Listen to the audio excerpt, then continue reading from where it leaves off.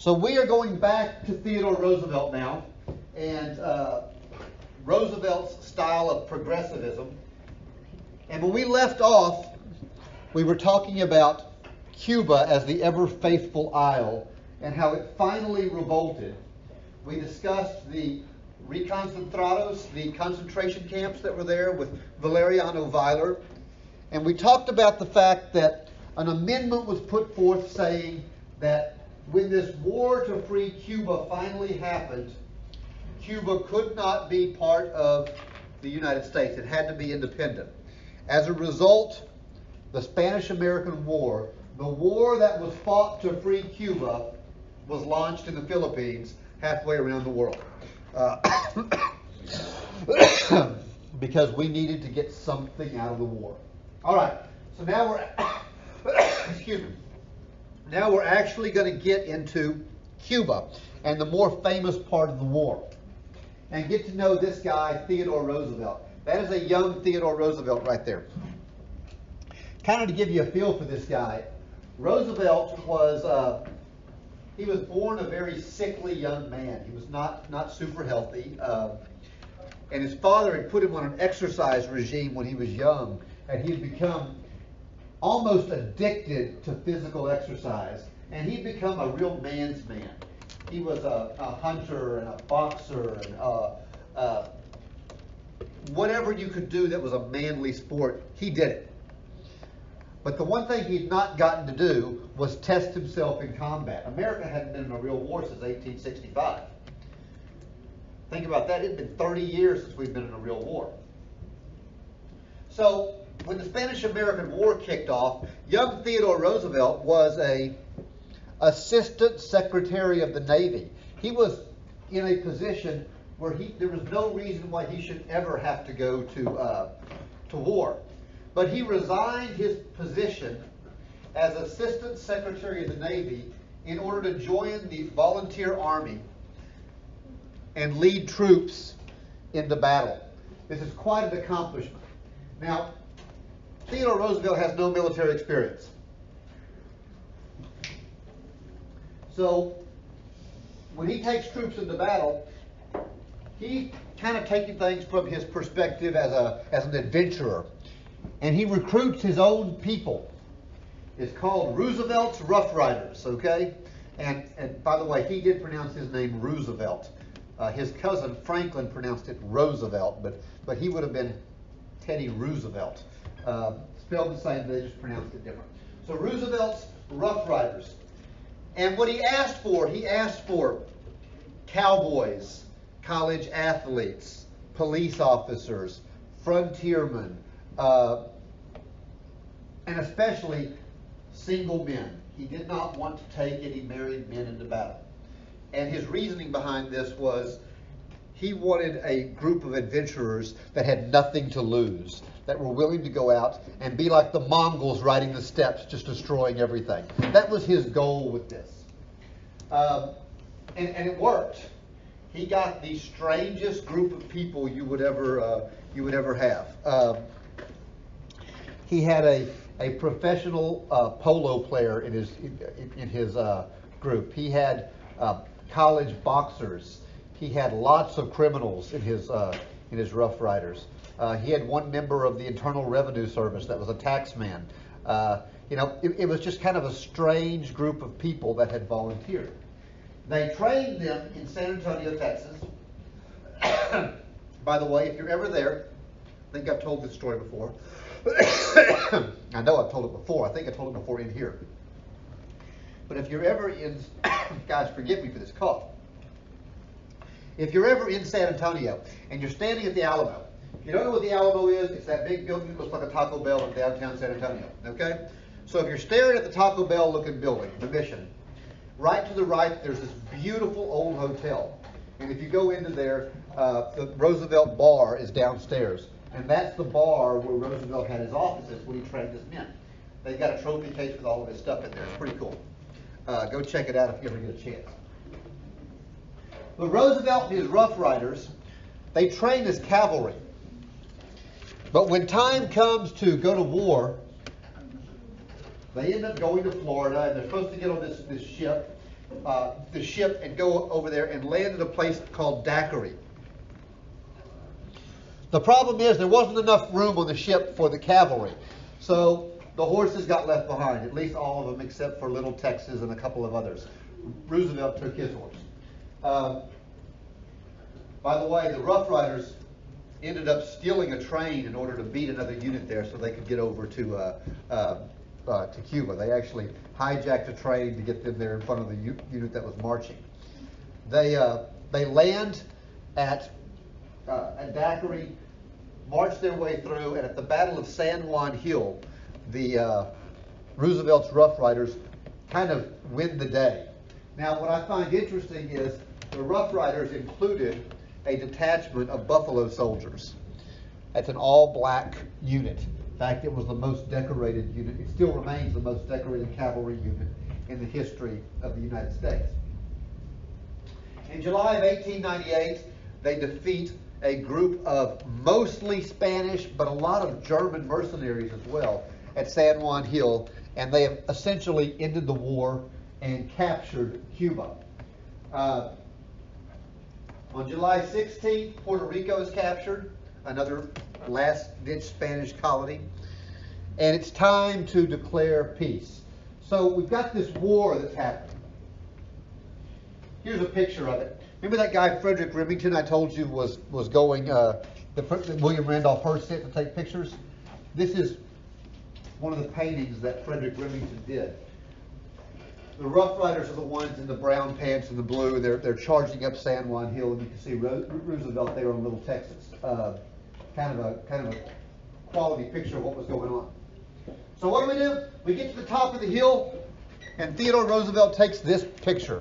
He has. Uh, Stephen Crane take a photo of him. Stephen Crane was the writer that had come along. Why would you take a picture like this? You got to think a little bit pragmatically, a little like a politician here. There's a reason why Theodore Roosevelt took this picture.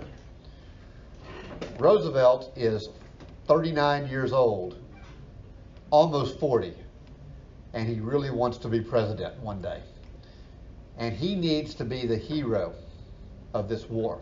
So he takes this picture with the intention of when he gets back, writing the history with himself as, as, as, as the big hero. And he was a big hero. He, believe me, believe me, he was fearless. The people that, that fought underneath him talked about how, how, uh, how dangerous he was and how fearless he was in combat.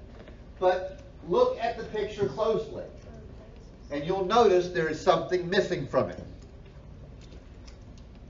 You know, we, we don't always catch it immediately, so uh, let me show you the second picture that was taken there, and then I think it'll be obvious. There's the second picture that was taken at San Juan Hill. Do we see the difference now? There's are all the black soldiers, the Buffalo soldiers.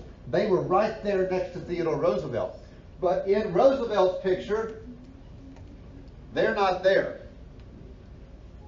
Why not?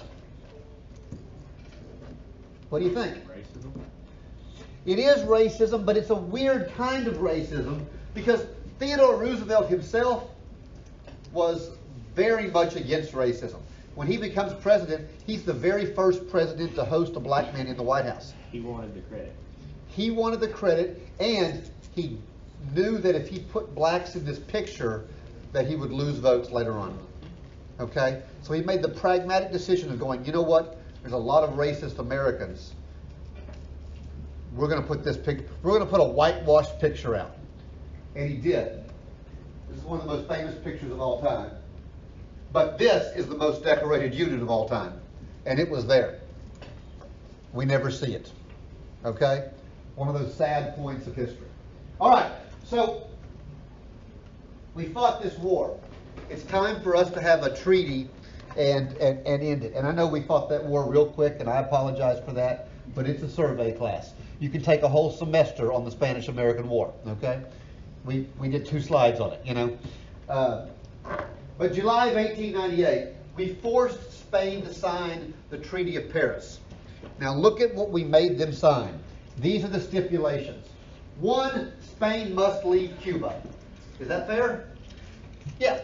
We fought this war to free Cuba. So I think that's fair. I have no problem with that.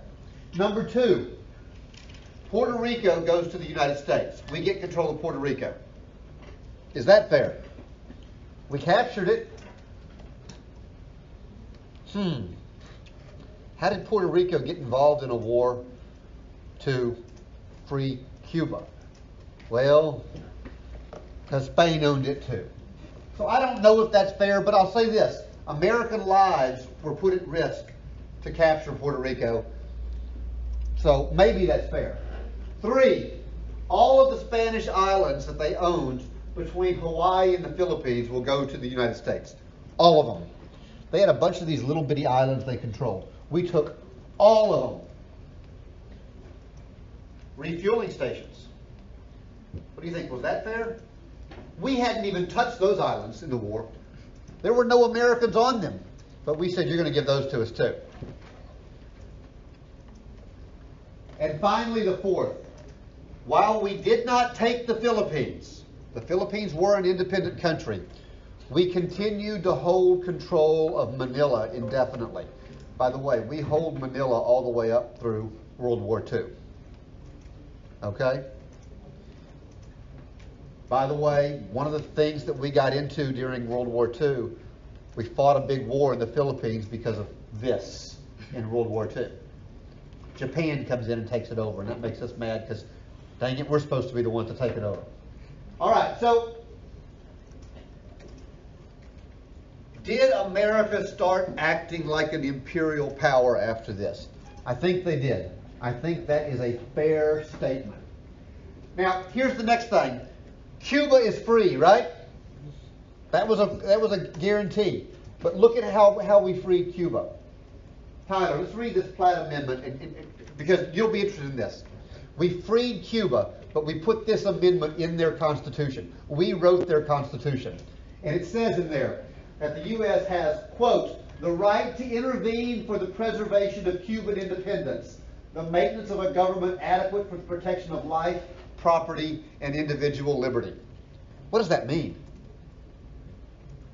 It means, yes, you're free, but if you your government does something that we don't like, if you intervene in life, liberty, or property, or life, liberty, and individual liberty, uh, what does it say? Life, property, individual liberty. If you intervene in any of those, we have the right to go in and overthrow your government and put the U.S. on it. We still have that?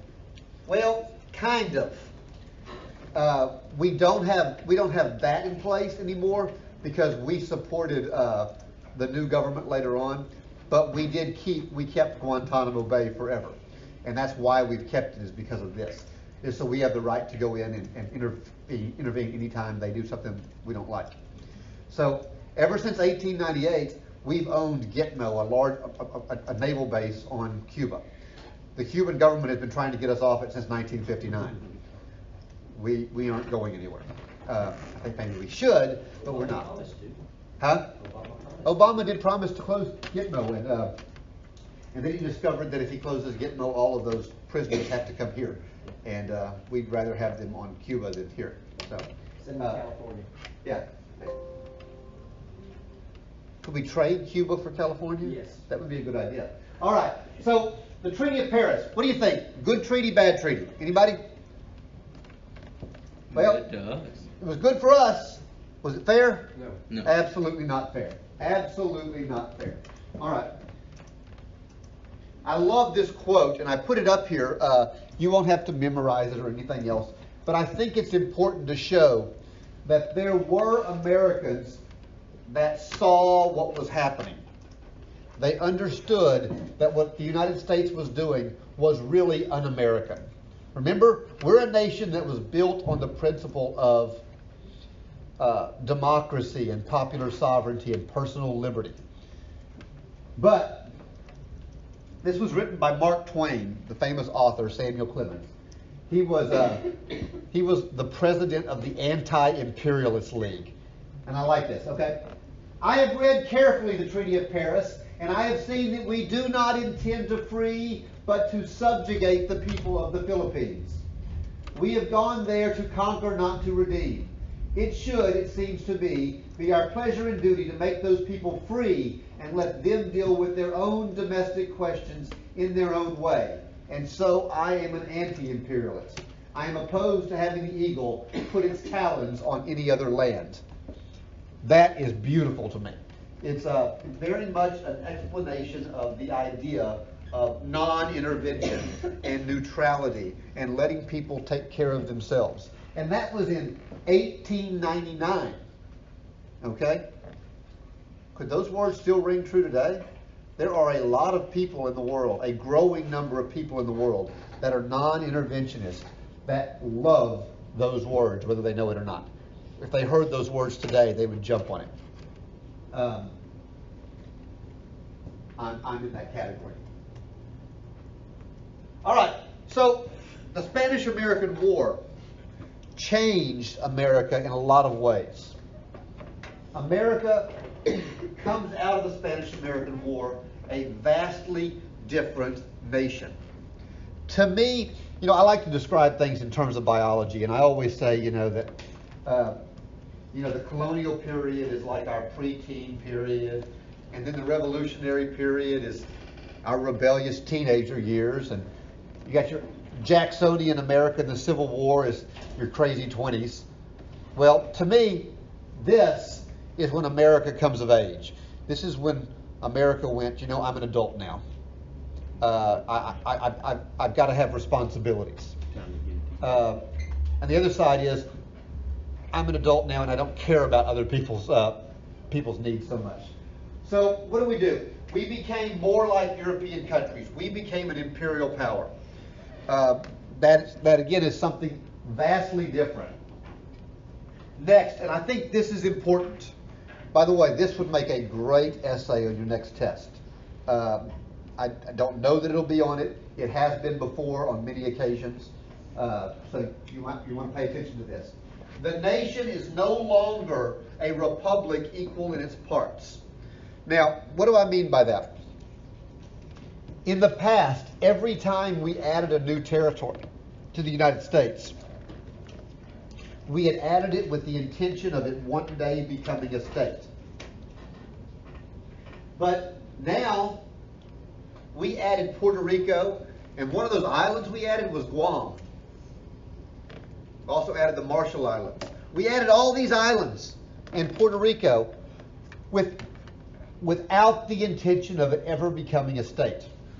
Still today, this was 1898, still today, over a hundred years later, Puerto Rico is not a state. Guam is not a state. You know how long it took Texas to become a state? It was never a territory. The U.S. added it and went state immediately. We're a hundred years later. And by the way, Puerto Rico has more people in it than Texas did when it became a state.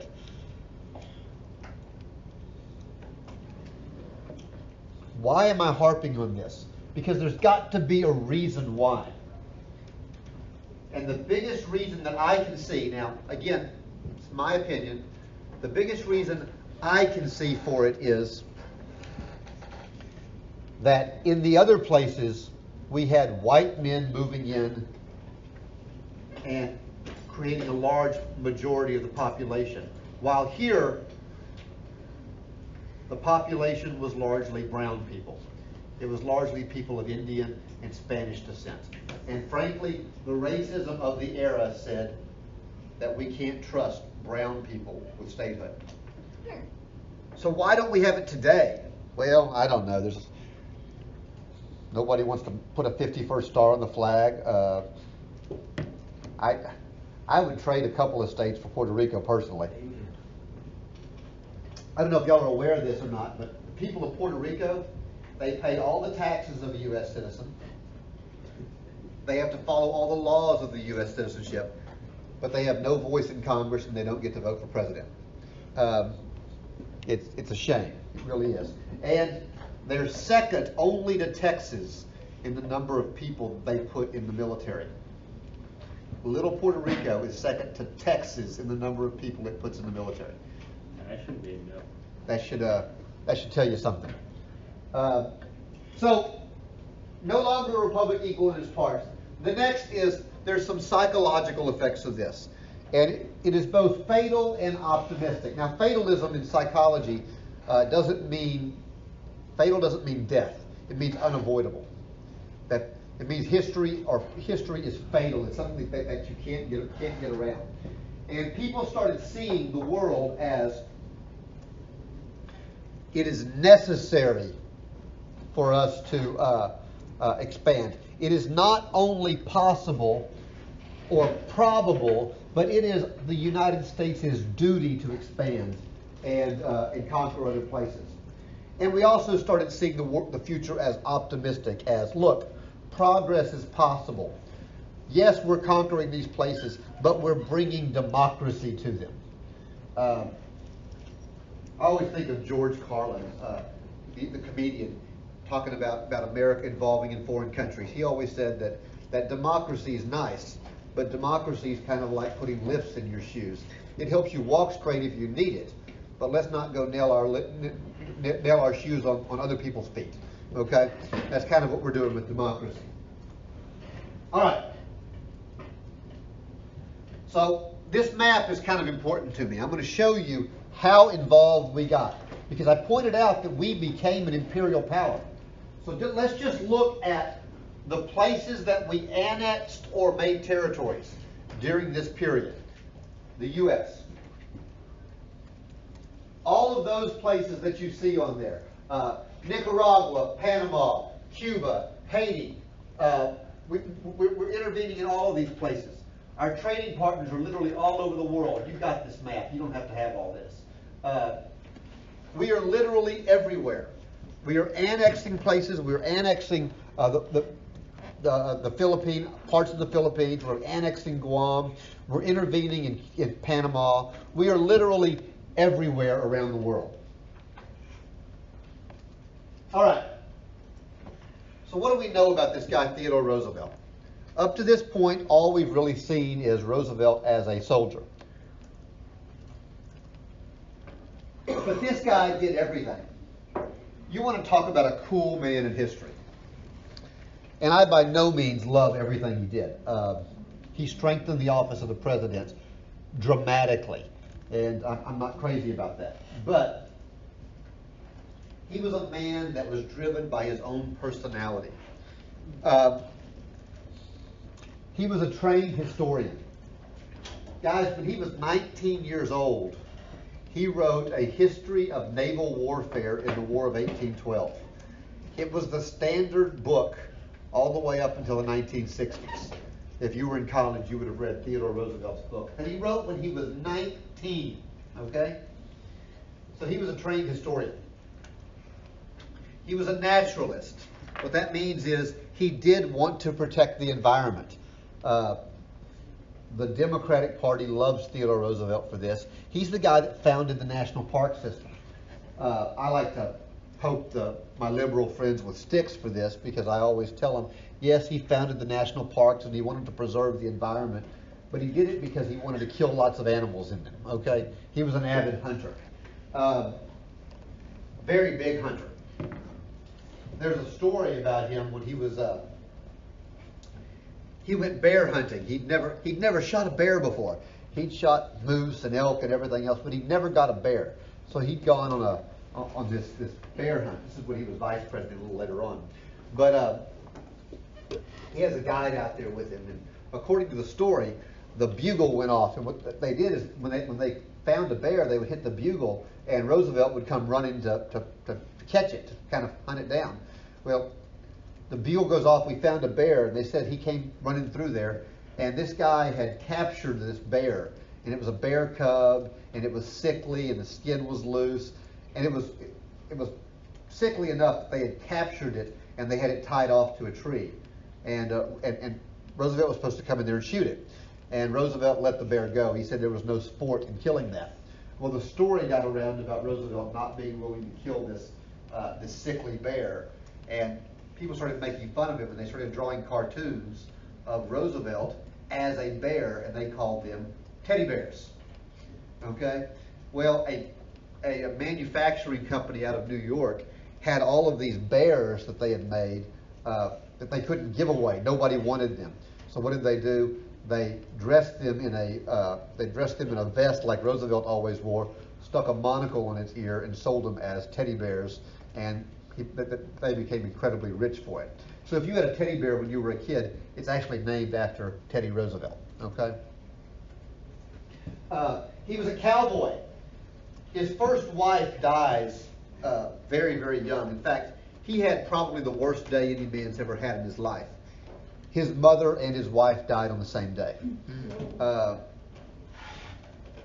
they uh, they had they, they had the same disease. They a highly contagious. Uh, we don't really know what it was, but probably something like the flu, highly contagious, and they they both died on the same day.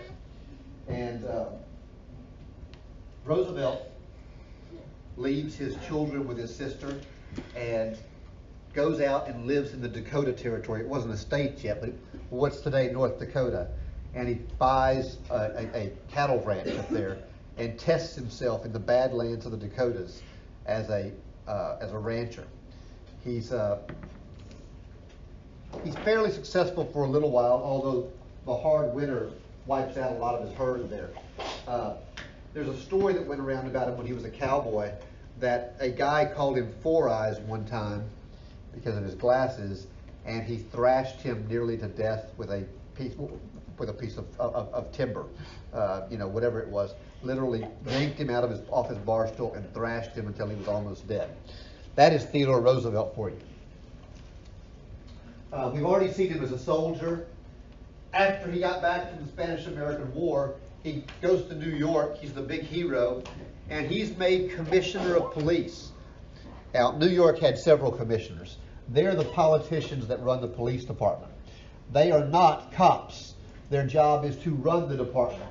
But Roosevelt was not satisfied with just running the department.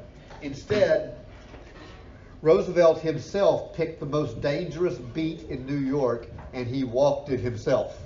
So this police commissioner chose to walk a beat. That shows you the kind of guy he was. Uh, he gets promoted to assistant secretary of the Navy and eventually uh, governor of New York City. Now, as governor of New York, Theodore Roosevelt enforces the rules so strictly that the big businessmen there um, want to get rid of him because he starts breaking up trusts. He doesn't let them sell products on Sunday. He's breaking up all of these rules. So, what do you do?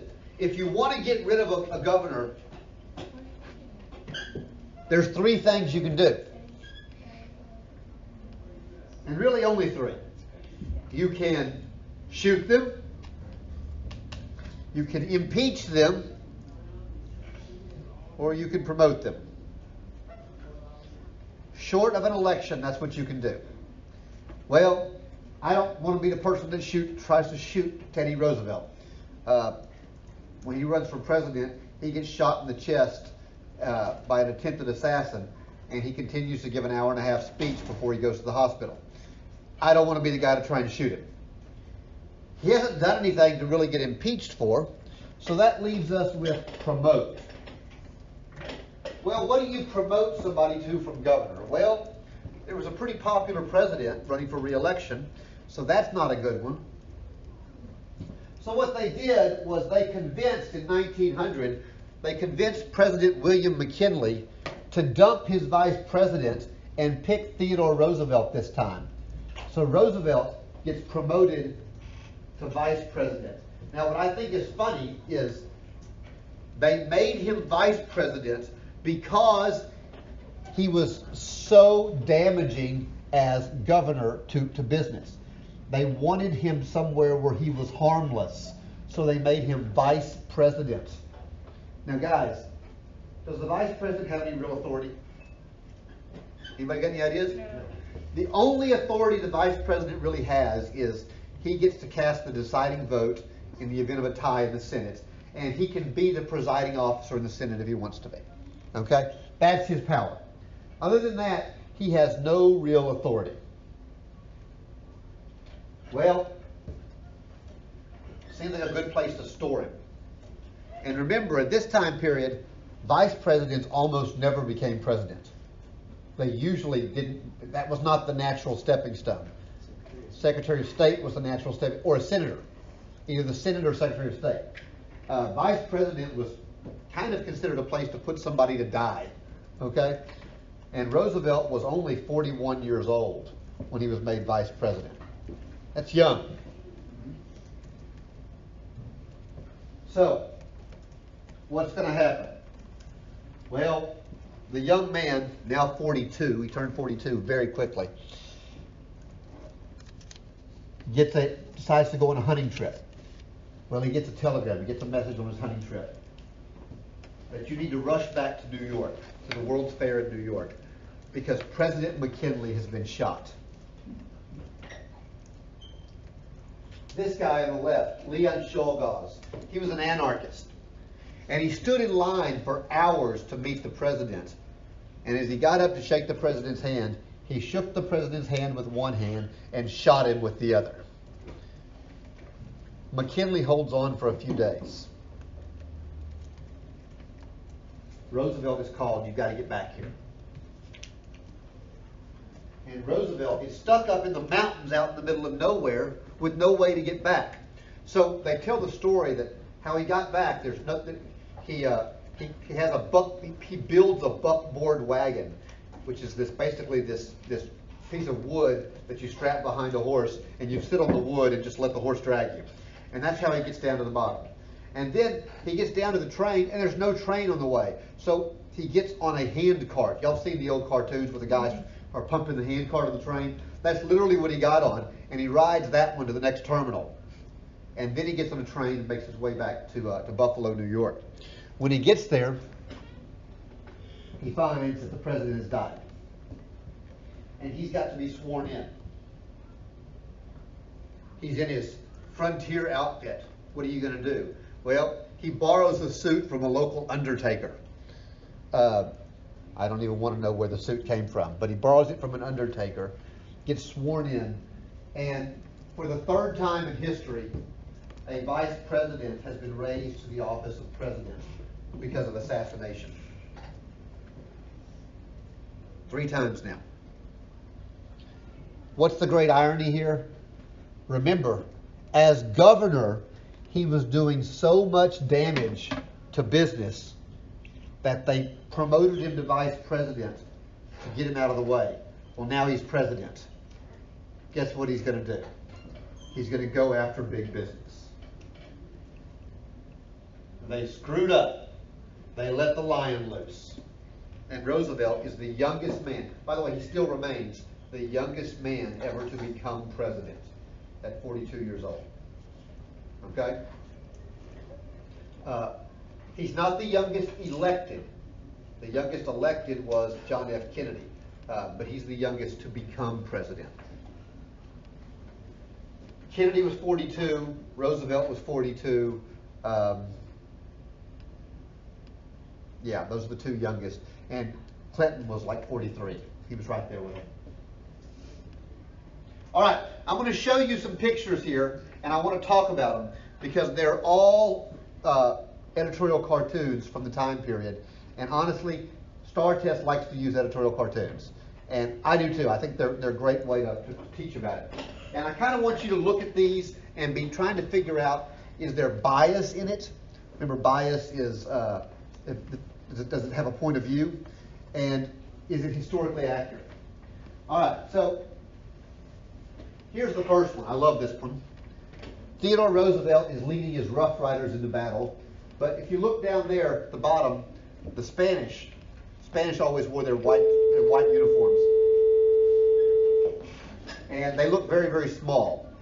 So the message the artist is trying to say here is that Roosevelt is larger than life. The Americans were bigger, they were tougher than the Spanish. Is there bias in this? Yes. Absolutely. Lots of bias. This is from an American perspective, okay? Uh, think it's an accurate depiction of Roosevelt? I think it's an accurate depiction of what Americans thought Roosevelt was. Okay? Here's one that's not quite so positive about Roosevelt. Uh, I like it. It looks like a famous painting y'all may have seen before. You may have seen one on the back of a of an old 1976 quarter where it's got the guys uh, with marching and all. Well, that's what this picture is. It's it was originally supposed to be three Revolutionary War heroes, but in this one, all the Revolutionary War heroes have been replaced with Theodore Roosevelt. But Roosevelt doesn't look nearly as attractive and tough in this one. He looks kind of goofy, doesn't he?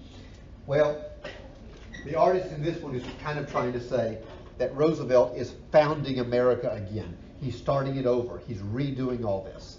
Uh, and maybe not in a good way. And then there's my absolute favorite one. This is the one that makes me want to, uh, to, to, to vote for Roosevelt.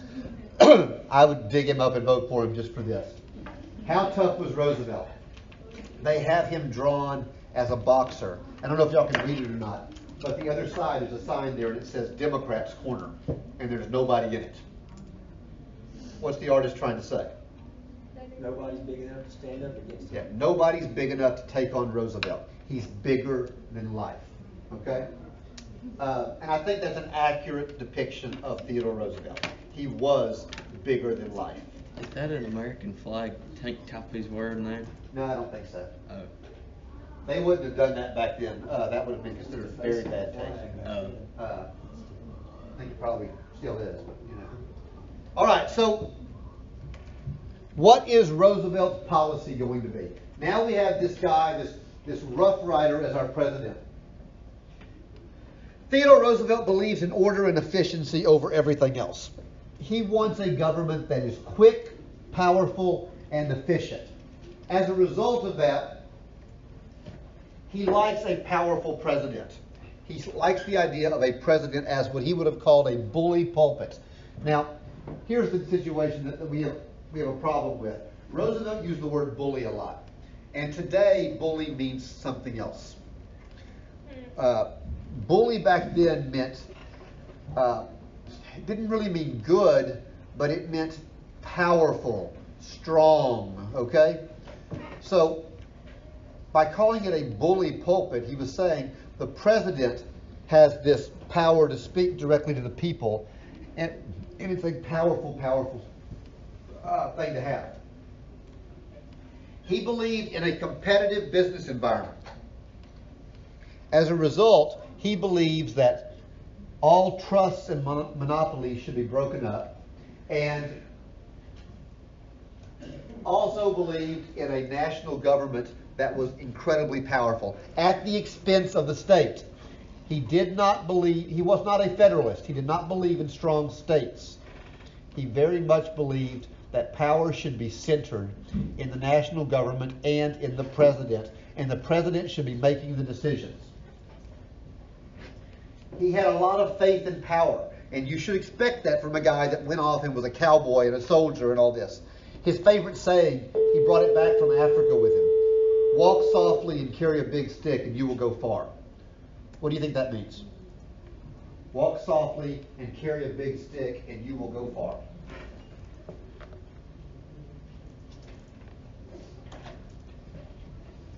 Boy, I'm talking to myself here. Well, I don't know. What do you think walk softly and carry a big stick means? It sounds literal to me. It's It kinda- does. It's It kind of like take, uh, take no bull, but do no harm. Yeah, there you go. He's saying, look, don't pick a fight. Don't go out and pick a fight.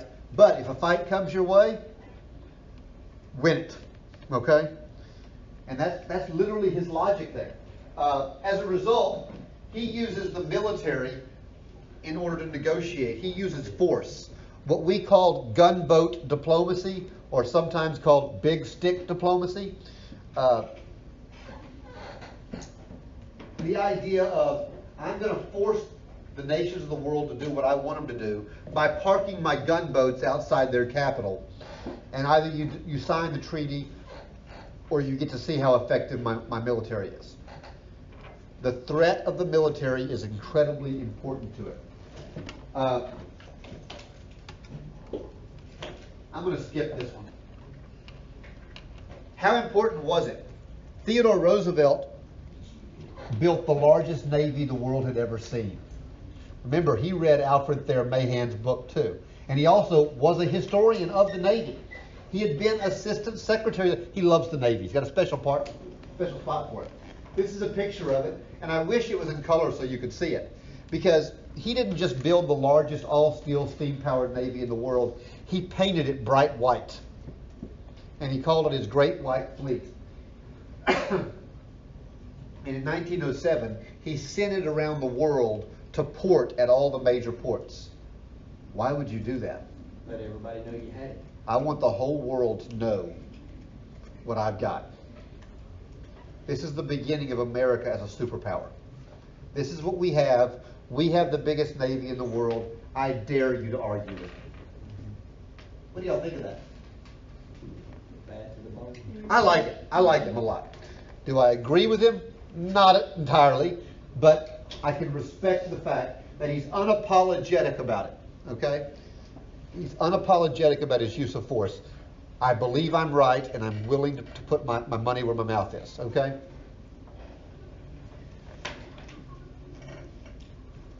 Let's talk about Roosevelt in the Russo-Japanese War. This was literally a civil, not a civil, a war between Russia and Japan that Theodore Roosevelt stuck himself right in the middle of. What had happened was there's this chunk of land called the Kamchatka Peninsula. If you look at a world map, if you look where Japan is and Russia is, there's this little peninsula that comes down right above Japan. This is a spot of land that had been controlled by Russia at some times and Japan at some times, China at some times. It had never really been, been set as to who was going to control it. And both Japan and Russia it. And Russia has not had a real victory in a generation. And in order to stay powerful and dominant, it really needs a victory. Japan is an overpopulated island and needs room to grow. So, what does Roosevelt do? Roosevelt looks at the world, this is Roosevelt as a pragmatist and uh, very much a Byzantine kind of sneaky creature. He was smart. He looked at the world, and we're talking about way back here in 1905. Roosevelt said that the two big threats of the 20th century are going to be Russia and Japan. That was in 1905, both of which were not threats at that point. But he said, within this century, Russia and Japan will be the two biggest threats to the United States. Was he right? Yeah. So was Mitt Romney. Forgot about Germany, but Russia and Japan. He calls it 1905. So what does he do? He gets sneaky. He goes to Russia and he goes, "Hey, listen, uh, I think Japan wants your land. I uh, I wouldn't put up with that if I were you. I would move some military there." So he started it. So Russia, yeah, so Russia takes it and moves its military to the Kamchatka Peninsula as a show of force. And then he goes across to Japan and he goes, I don't know what those crazy Russians are doing, but they moved their military up here next to you. I'd watch out if I were you. So Japan built their military up. And he egged them on until they got into a war. And they get into, a, we actually financed part of the Japanese war effort. We gave them money for this. So they get into the war and they fight each other. And Japan wins the war. Japan defeats the Russians at a heavy cost. Most of their military was destroyed. At the end of the war, both sides want to claim or, or, or want to end this. So they go to Theodore Roosevelt and they ask him to negotiate the peace treaty. The guy that started the war, they ask him to negotiate. So Roosevelt calls him to his house in New Hampshire, outside of Oyster Bay. And literally, while sitting on the bay, he's got the Japanese prime minister and the ambassador from Russia sitting on his porch. And out in the harbor where they can see it, he has his great white fleet doing maneuvers, moving back and forth. So the whole time the negotiation's going on, Roosevelt's standing over these two guys, and his Navy ships are going back and forth in front of them. And he says, You're going to sign this peace treaty. And they signed it. Now, here's the deal when it went over, Japan gave back all the land they took from Russia, and Russia went home. It was just like the war had never happened, except both nations were greatly weakened by, by fighting this war. Was it smart what Roosevelt did? For us, he probably put those two nations emerging as a world power back a generation. Okay? This is the part that I find ironic. Theodore Roosevelt won the Nobel Peace Prize for negotiating an end to the Russo-Japanese War, Even though he's the guy that picked, started the fight to begin with.